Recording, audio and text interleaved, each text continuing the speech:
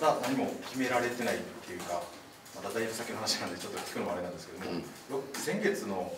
日本維新の会の公式 YouTube の放送で、まあ、YouTuber への転身について言及されてた あの回があったのをちょっと拝見しまして。それ俺やってた。はい。あのまあその政治家の後に YouTuber への転身っていうのは現状可能性ある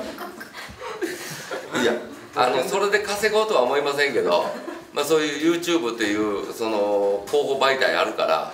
あの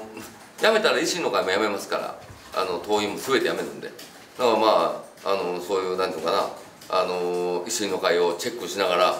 まあ藤田幹事長おかしかったら、ね、YouTube で「いや藤田変わったな」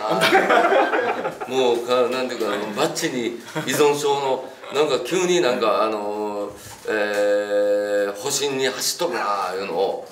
全国に発信したい。ありがとうございますあの必ず登録したいと思います。はい、あの ABC テレビですけども、あの政治を引退されるともう党員も辞められるんですか？やめますよ。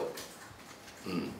そのもうあの関連付けられたらまたあの自分の人生にいろいろレッテル貼られるじゃない橋本さんみたいに、うん、でもあの一線引きます。でちょっと間は休んでいろいろ考えます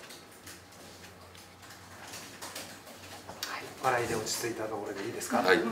い、はい、それでは終わります。ありがとうございました。